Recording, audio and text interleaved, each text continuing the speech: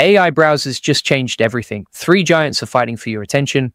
Comet reads the web for you. Atlas brings ChatGPT into every tab. Copilot turns your browser into an office powerhouse.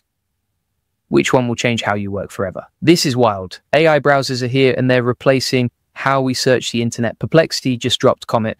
OpenAI released ChatGPT Atlas, and Microsoft turned Edge into a Copilot machine. Your browser now does the thinking for you. This changes shopping, it changes research, it changes work, and I'm about to show you which one wins for your business. So Perplexity launched Comet. It's their AI-first browser, and it went from limited rollout to global availability. This thing bundles a persistent AI assistant that can read and interact with pages. It runs background assistance while you browse. Comet is positioning itself as a free challenger to Chrome and Safari. They have optional paid tiers like Comet Plus and Perplexity Pro features if you want more power. Then OpenAI came out swinging with ChatGPT Atlas. This is a browser with ChatGPT built right in. It's designed to be a super assistant that works across all your pages. The cool part is it brings your contacts, your passwords, and your tabs directly into ChatGPT. So ChatGPT can actually see what you're doing and help you with it. This isn't just a chatbot anymore, it's your browsing partner. And Microsoft didn't sleep on this either. They expanded Edge with Copilot mode. This integrates chat, search, tab comparisons, voice input, and deeper browser task automation. If you're already in the Microsoft ecosystem with Office, this is huge. Edge Copilot requires a recent Edge version to get all the new functionality working.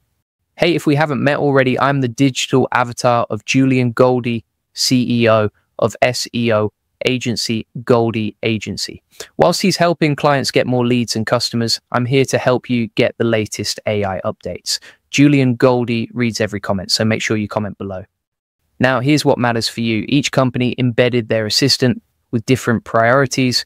Perplexity focuses on research and agentic browsing. OpenAI built an assistant plus contextual workspace. Microsoft went all in on productivity and office integration. So which one should you actually use? That depends on what you need it for. Let me show you real tests. I'm going to show you what each browser can actually do, not theory, not marketing, real demos. Let's start with Perplexity Comet because this thing surprised me. I gave it a research test. I said, find the fastest shipping option for this bike compare prices, and summarize everything. And Comet actually read the product pages, it pulled up a side panel assistant, it ran background assistance while I kept browsing. The agentic browsing is what stands out here. It doesn't just give you links, it does the research for you and shows you the sources. All right, so here's where I want to tell you about something that ties all this together. If you're trying to scale your business and you want to use AI to get more customers and save hundreds of hours with automation, you need to check out my AI Profit Boardroom. You'll get frameworks, templates, and direct access to what's working right now. The link is in the description. If you're doing product research or comparing options for your business, Comet handles that automatically. You're not clicking through 10 tabs anymore. You're not copying and pasting prices into a spreadsheet. Comet does that work in the background. This saves hours if you're shopping for software, comparing vendors, or doing competitive research. Now, let's talk about ChatGPT Atlas because this one hit different. I tested it with context and productivity tasks. I said, summarize these three tabs and make an email draft with key takeaways. And Atlas pulled everything together. It looked at my bookmarks. It accessed my saved passwords where I allowed it. It made suggestions based on everything I had open. This is the workspace feel. ChatGPT isn't just answering questions anymore, it's managing your browser like a teammate. If you're managing multiple projects or writing content based on research, Atlas keeps everything in one place. You don't need to switch between ChatGPT and your browser anymore. It's all integrated, and because it's ChatGPT, you get that same quality of writing and reasoning you're used to but now it has full access to what you're working on. Microsoft Copilot in Edge is built for work and automation. I gave it a test. I said compare these open tabs, create a booking with my stored sites and highlight conflicts, and Copilot mode organized my tabs automatically. It used voice input to take my commands. It even generated a Word doc summary and integrated with my Microsoft 365 account.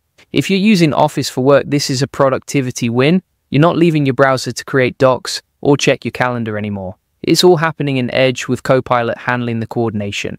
This matters if you're run, running a team or managing clients. You can automate repetitive browser tasks. You can have Copilot draft reports based on your open research tabs. You can use voice commands while you're on calls. The Office integration means everything syncs automatically. Your Edge browsing feeds into your Word docs, your Excel sheets, your Teams chats. But here's the honest take. Privacy and limits matter here. Each of these browsers handles data differently. You need to check the settings.